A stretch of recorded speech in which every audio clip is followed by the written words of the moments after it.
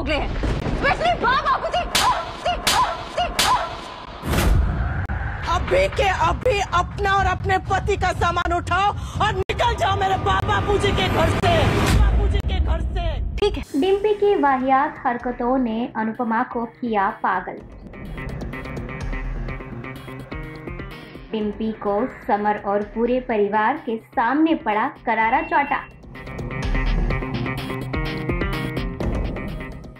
डिम्पी और समर का हो गया है घर में बंटवारा।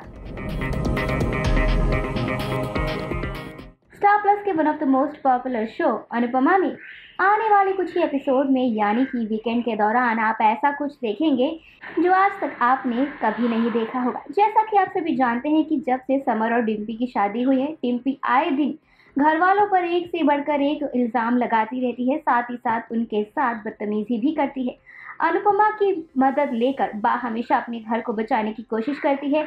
अब अनुपमा, जो हमेशा काफ़ी ज़्यादा शांत दिमाग से रहकर सभी के मसलों को सुलझाती है, उसका भी गुस्सा और उसका भी जो शांत स्वभाव है, वो फूट पड़ा है। अब उसने सबके सामने, स्पेशली उसके पति समर के सामने डिम्पी को करारा चाटा जड़ दिया है। डिम्पी एक एक करके सबकी बेइज्जती करती है, लेकिन जब बा और बापूजी की बात आती है तो अनुपमा ये बदतमीजी बर्दाश्त नहीं कर पाती। अब डिम्पी ने भी अनुपमा को धमकी दे दी है कि उसे इस घर में नहीं रहना है। उसे बंटवारा चाहिए। साथ ही साथ अनुपमा ने लगे हाथ एक और बात का ऐलान भी कर दिया है कि आज के बाद वो इस घर के पहले महले के कमरे में रहेंगे।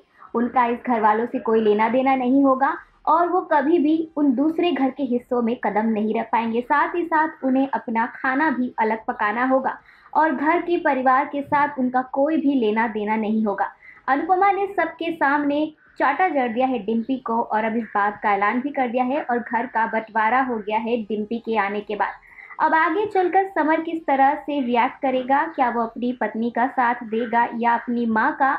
और क्या वो अपने दादा दादी के अपमान को इस तरह बार बार सहता रहेगा या फिर से कोई कदम उठा के वो खुद भी डिम्पी से अलग हो जाएगा? ये सब कुछ अब देखना बहुत दिलचस्प होने वाला है। अनुपमा शो में इस ट्रैक को देखने के लिए आप कितने ज़्यादा एक्साइटेड हैं? हमें अपनी राय कमेंट सेक्शन में ज़रूर बताएँ और चैनल को सब्सक्राइब करना ना भूलें।